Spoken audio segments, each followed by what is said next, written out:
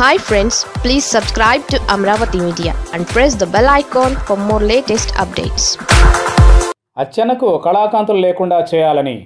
రాజకీయాలే అంతేననుకోవాలి. ఒకరు ఎదుగుతుంటే మరొకరు దిగలాగుతారు. వారు అడ్డు వస్తున్నారనుకుంటే అడ్డంగా నరికేస్తారు. ఇక్కడ జాలి దయ వంటివి ఉండవు. అందుకే రాజకీయాల కంటే కఠినమైనవి ఏవీ లేవని అంటారు. విషయానికి వస్తే శ్రీకాకుళానికి చెందిన పసుపు పార్టీ పెద్దలిద్దరి మధ్య ముదిరిన వివాదాలు ఇప్పుడు రచ్చగా మారాయట. అందులో ఒకరు ఏపీ టీడీపీ అధ్యక్షుడు కళా వెంకట్రావు అయితే మరొకరు మాజీ మంత్రి కింజారపు అచ్చెన్నాయుడు అంటున్నారు. అచ్చెన్న చంద్రబాబు దగ్గర అచ్చ అనిపించుకోవడం కళా వర్గానికి అసలు గిట్టడం లేదట. దానికి తోడు ఆయన ఏకంగా తన పదవికే అసలు పెట్టే స్థాయిలో దూసుకురావడంతో కళా వెంకట్రావుకు ఎక్కడ లేని అభద్రతా భావం పట్టుకుందని అంటున్నారు.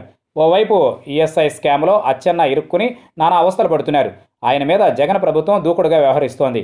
మాజీ మంత్రి వెయ్యి కోట్ల కుంభకోణానికి సూత్రధారి అని కూడా అంటోంది. ఆయన అరెస్ట్ చేస్తామని గట్టి ప్రకటనలే చేస్తోంది. అయితే అచ్చెన్న ఇలా అడ్డంగా ఇరుక్కుపోవడం కళా వెంకట్రావుకు మహదానందంగా ఉందని ప్రచారం సాగుతోంది. ఆయన మీద మరిన్ని లీకులను కూడా కళా వెంకట్రావు వర్గం ఈ సందర్భంగా విడుదల చేస్తూ ఇమేజ్ డ్యామేజ్ చేసేందుకు ప్రయత్నించిందట.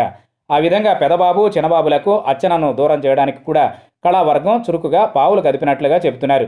ఈ కుంభకోణం వెనుక కావాలనే లోకేష్ పేరును ప్రస్తావించడం వెనుక కళావర్గం హ్యాండ్ ఉందని అంటున్నారు.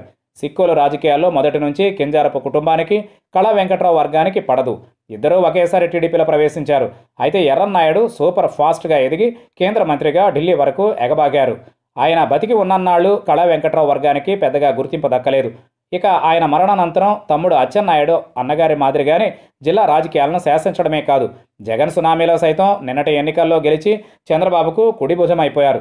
ఆయన నోరు దాటిని మెచ్చి చంద్రబాబు ఏపీ టీడీపీ ప్రెసిడెంట్ చేస్తారని వార్తలు వస్తున్న క్రమంలో తన రాజకీయ కళ పూర్తిగా మసగబారుతోందని గ్రహించిన కళా వెంకట్రావు వర్గం ఈఎస్ఐ స్కామ్ని ఉపయోగించుకుంటోందని అంటున్నారు. అచ్చన్న పైన బురద జల్లడం వెనుక కళా వెంకట్రావు వర్గం ఉందని మాజీ మంత్రి వర్గీయులు గట్టిగా అనుమానిస్తున్నారు.